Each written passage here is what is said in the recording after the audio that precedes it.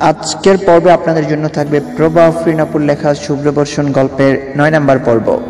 শুরু থেকে অবশ্যই শেষ পর্যন্ত দেখবেন। পুরো গল্পটা দেখার পর কমেন্ট করতে ভুলবেন না গল্পটা কেমন লেগেছে সেটা জানিয়ে। যদি ভালো লেগে থাকে, অবশ্যই একটা লাইক দিয়ে দিবেন। তো চলুন, কথা না বলে সরাসরি গল্পে চলে যায় ঘন কালো মেঘের আবরণীতে ঢাকা পড়েছে আকাশ।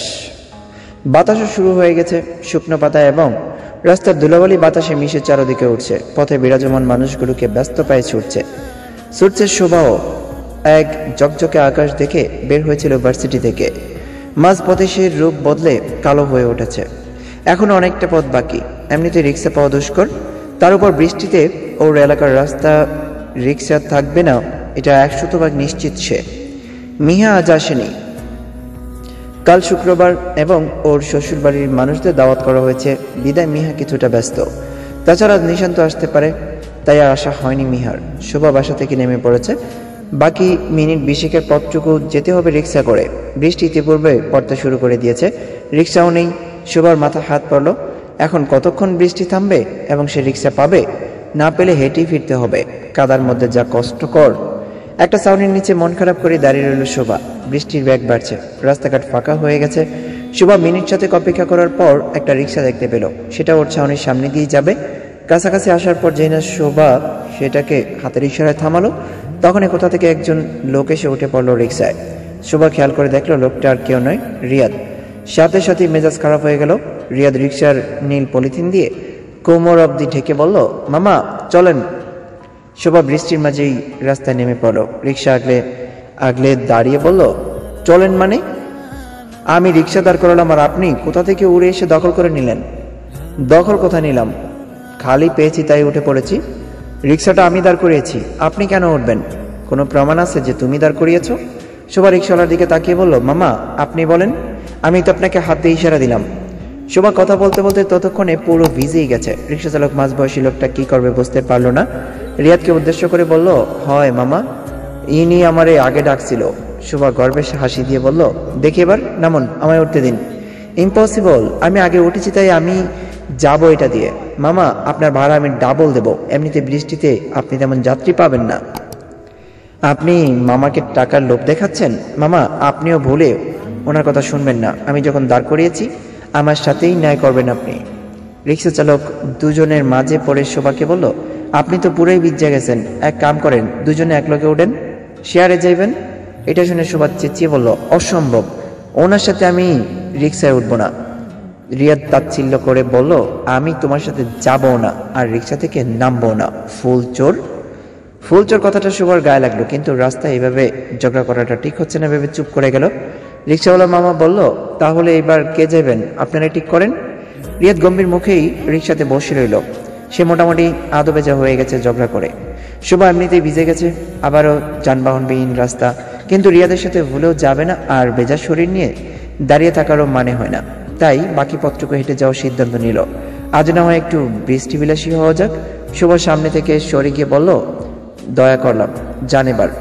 রিয়াদ একটু হেসে বলল, কথায় পরাস্ত হলে এভাবেই ল্যাস গুটিয়ে পালানোকে দয়া ভাবে বোকারা। মামা, চলেন।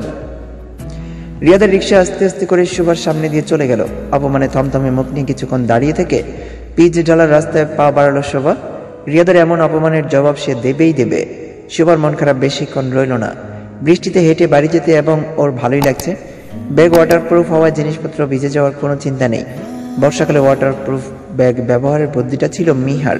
শোভার এখন একটা চুমু খেতে ইচ্ছা করছে মিহাকে এই আইডিয়াটার জন্য।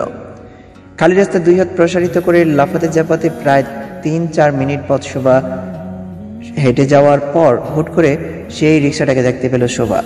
রিয়াদের আবার উল্টো দিকে আসার মানে বুঝলো না, কিন্তু সেদিকে দৃষ্টিপাত না করে এগিয়ে যেতে লাগল। রিক্সাটা থামলো শোভার সামনে। তা দেখে ও ব্রকুচকালো রিক্সা চালক ওকে দেখেই হাসলো। পিছন থেকে রিয়াদ গম্ভীরভাবে অন্যদিকে মুখ করে বলল, উঠে এসো। শোভা বুঝতে না পেরে বলল মানে? বাংলা বোঝেন না, রিক্সায় ওঠেন এক্ষুনি। আমি কেন আপনার রিক্সায় উঠব? এখন আমার দয়া আমাকে ফেরত দিতে এসেছেন? হ্যাঁ এসেছি। এখন না উঠলে বিকেলে মাইকে করে সবাইকে জানাব কীভাবে ফুল চুরি করেছ। রিক্সাওয়ালা বলল, ওইটা পরে নাফা, রিক্সা আর পাইবেন না হন শোভা নিজের সিদ্ধান্তে অটল রইল। সে যাবে না, তখন ভাব দেখি আবার এখন এসেছে দয়া করতে। এত ভাব, কোথা থেকে আসে এই লোকের? কিন্তু এই রিয়াদ কেন আবার তাকে ফেরত নিতে এসেছে বুঝলো না। বলল, থ্রেড দিয়ে কেন উঠাইতে চাইছেন? আপনার মতলবটা কি? এত বেশি বোঝো, অথচ এইটুকু বুঝো না। নিজেকে একবার ভালো করে তাকিয়ে দেখো। শোভা ব্রুকোচকে নিজের দিকে ভালো করে তাকালো, সাথে সাথে অস্ত্র হয়ে গেল। বেজা হালকা গোলাপি জামাটা গায়ের সাথে লেপটে আছে একেবারে। এর জন্যই তবে রিয়াদ ওর দিকে সরাসরি না তাকিয়ে কথা বলছে। ইস লজ্জা ডুবে মরতে ইচ্ছা করছে। ভাগ্যিস, রাস্তায় মানুষজন নেই তেমন। কিন্তু যদি থাকতো, এতটুকু কাণ্ডজ্ঞান নিশ্চয়ই হওয়া উচিত ছিল সবার ছি ছি ছি। না জানি কি ভাবছে রিয়াদ। কিন্তু যখন ওর সাথে ঝগড়া করছিল, তখনও তো ভিজে গিয়েছিল শোভা। তখন কেন রিক্সায় উঠতে বলল না? ফেলে গেল কেন? প্রশ্নটা মনে আসলেও আর কোনো কথা না বলে রিয়াদের পাশে উঠে পড়ল। কিছুটা অস্বস্তি লাগছে রিয়াদের পাশে এভাবে বসতে। কিন্তু এখন কিছুই করার নেই। রিয়াদ নিজের থেকে অর্ধেক পলিথিন এগিয়ে দিল। এগিয়ে দিতে সেটুকু দ্বারা নিজেকে ঢেকে নিল শোভা। সাথে সাথেই বৃষ্টি স্নাত পথ ঠেলে চলতে লাগল রিক্সা বিকেলে আসার কথা থাকলেও নিশান্ত বাড়ি এসেছে রাত নটায়। ক্লান্ত, শ্রান্ত দেহটা টেনে কোনো মতে মিহার রুমে গিয়ে দরজা ঠেলতেই চোখের সামনে যে দৃশ্য বেশি উঠল, তাতে ওর ক্লান্তি বোধয় কর্পূরের মতোই উঠে গেল। চোখ যা যা করে উঠল। নিশান্ত যখন আসে মিহা শাড়ি পরার চেষ্টা করে, যদিও বাড়ির সবার সামনে বিষয়টা নিয়ে একটু লজ্জাও লাগে, আজ নিশান্ত দেরি করে আসছে দেখে মিহা শাড়ি পরতে ইচ্ছে করল। যেহেতু বাড়িতে মেয়েরাই থাকে সবসময় এবং মামাও বাড়ি নেই, তাই দরজার ছিটকানিটা আটকানোর কথা না ভেবেই শাড়ি পরা শুরু করে মিহা। সবে কুচুগুলো হাতে নিয়েছে, এমন সময় দরজা খোলার আওয়াজ পেয়ে চমকে উঠে পিছনে তাকালো সে। নিশান্তর দাঁত কেলিয়ে দাঁড়িয়ে আছে। এমন একটা অর্ধপূর্ণ শাড়ি জড়ানো রূপে তার মাহজাবিনকে দেখে বুকে মৃদঙ্গ বেজে উঠছে যেন। নিশান্তকে দেখে মিহা থমকে গেল কিছু মুহূর্ত। সাথে সাথে রক্তিম আবায় ডুবে গেল ওর মুখ। কোনো মতে শাড়ির আগলে দৌড় লাগালো বারান্দার দিকে। নিশান্ত এগিয়ে এসে ধরতে পারল না। তার আগে মিহা বারান্দার দরজা আটকে দিল। দরজার ওপাশ থেকে হাসির শব্দ পাওয়া গেল। নিশান্ত শব্দ করে হাসছে। যা আরেক দফা লজ্জায় মরিয়ে দিল ওকে। ইস, দরজাটা আটকালে আজ এমন দিন দেখতে হতো না। ওপাশ থেকে নিশান্তের গলা পাওয়া যাচ্ছে। দরজা খোলো মাজাবিন আমার জন্যই তো এত সাজ। অথচ আমার থেকে লুকাচ্ছ। ভ্যারি ব্যাড মিয়া কিছুই বলল না। দ্রুত হাত চালিয়ে শাড়ি পরতে গিয়ে আর নষ্ট করে ফেলল। নিশান্ত দরজার বাইরে টোকা দিল। মিহা কম্পিত গলায় বলল, আপনি ফ্রেশ হয়ে নিন, আমি আসছি। বাইরের ফ্রেশনেসের আগে মনের ফ্রেশনেস দরকার। তার জন্য এখন তোমাকে দেখতে চাই। এসো বলছি, একটু পরে প্লিজ নিশান্ত আর কিছুই বলল না। এমনিতে বেচারি লজ্জাপতি তার উপর এমন পরিস্থিতিতে পড়ে হাবুডুবু খাচ্ছে। নীরবে চলে গেল ফ্রেশ হতে। মিহা কোনো মতে শাড়ি পরে বের হয়ে জলদি জলদি এলোমেলো চুল আছড়ে পিঠে ছাড়িয়ে দিল। একটু কাজল দিলে মন্দ হয় না। কিন্তু নিশান্ত যদি লজ্জা দেয়, বাথরুম থেকে পানি পড়ার আওয়াজ আসছে। নিশান্ত গোসল করছে। দেবে না দেবে না করেও শেষমেশ কাজলের টান পড়ল চোখে। সবশেষে আয়নায় নিজেকে একবার দেখে নিল। নীল রঙের শাড়িতে গোলগাল মুখটা বেশ মোহনীয় লাগছে। নিশান্ত বের হয়ে দেখল মিহা ঠোঁট কামড়ে নতজন হয়ে দাঁড়িয়ে আছে। মাথা থেকে পা অব্দি বেশ কয়েকবার চোখ বুলিয়ে এগিয়ে এসে ভিজা হাতের নাক টেনে দিল মিহার। মিহা অন্যদিকে মুখ ফিরালো। নিশান্ত ঠোঁট টিপে হাসলো। হাত ধরে যেই না নিজের দিকে ফেরাবে, অগ্নি দরজায় মৃদু করাঘাত পড়ল। শিরিন বেগমের গলা পাওয়া যাচ্ছে মিহাকে ডেকে বলল, জামাইকে নিয়ে খেতে আসতে। মিহা পালানোর সুযোগ পেয়ে সাথে সাথে দরজা খুলে বাইরে পা রেখে নিশান্তকে বলল, চলুন, খাবেন। নিশান্ত ফুস করে একটা নিঃশ্বাস ফেলল। মেয়েটা দিন দিন চালাক হয়ে যাচ্ছে। খাবার টেবিলে শোভা ব্রুবাকি মিহাকে চোখে ইশারা করল, যার মানে দাঁড়ায়, এমন যে মিহা হঠাৎ শাড়ি পরে সেজেছে কেন? পর মুহূর্তে আবার চোখ টিপ দিয়ে হাসে। মিহা বিরক্তি হলো শোবার কাণ্ডে।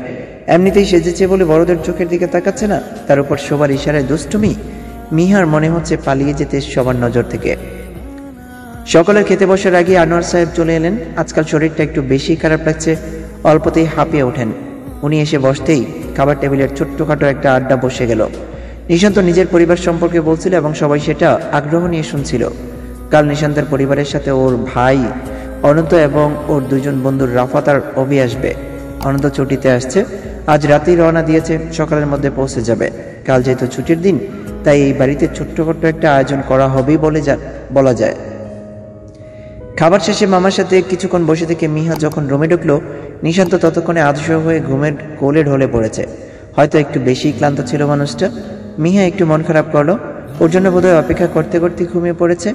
মিহা এগিয়ে এসে মাথার পিছনে বালিশটা ঠিক করে নিশান্তের পাশে বসল। খুঁটিয়ে খুঁটিয়ে দেখতে লাগল নিশান্তকে। চেহারায় ক্লান্তির ছাপ স্পষ্ট। চুলগুলো আলোমালো হয়ে আছে। মিহা চুলে হাত দিতে গিয়েও একটু দ্বিধাবোধ করল। যদি ঘুম ভেঙে যায়? তবুও আলতো করে আঙুল গলিয়ে দিল নিশান্তের চুলে। এখনও হালকা ভেজা ভাব আছে। চুলগুলো ঠিক করে দিয়ে হাত সরিয়ে আনতে গেলে নিশান্ত ধরে ফেলল। ওর হাত নিজের বুকে চেপে ধরে ঘুম জড়ানো কণ্ঠে বলল নীল রং কোনো কালেই আমার খুব একটা প্রিয় ছিল না, জানো তো। তবে আজ থেকে এই রংটা আমার পছন্দের তালিকার শীর্ষে উঠে গেল নীলাঞ্জনা। এরপর আবারও নীরবতা। মিহা মুগ্ধ হয়ে নিশান্তর মুখে চোখ বোলাচ্ছে। কিছুক্ষণ পর নিশান্ত আবারও বলল, তুমি নীলাকাশ হও, আমি শুভ্র মেঘ হব। তুমি নীল জ্যোৎস্না হও, আমি জ্যোৎস্না বিলাসী হব, তো ফ্রেন্ডস গল্পের পর্ব এতটুকুই ছিল। আশা করছি আপনাদের ভালো লেগেছে। যদি ভালো লেগে থাকে, অবশ্যই একটা লাইক দিবেন কমেন্ট করবেন সব সময় ফারুক স্টারির সাথেই থাকবেন। সেই কামনায় আল্লাহ হাফেজ। Bye bye ta-ta.